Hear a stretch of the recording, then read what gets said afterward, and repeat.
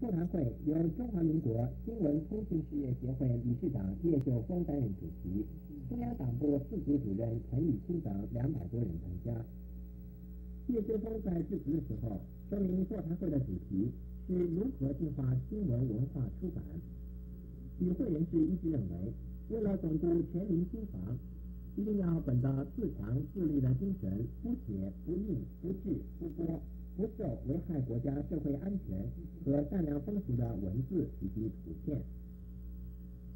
贵州并且通过上电恭请总统竞选连任。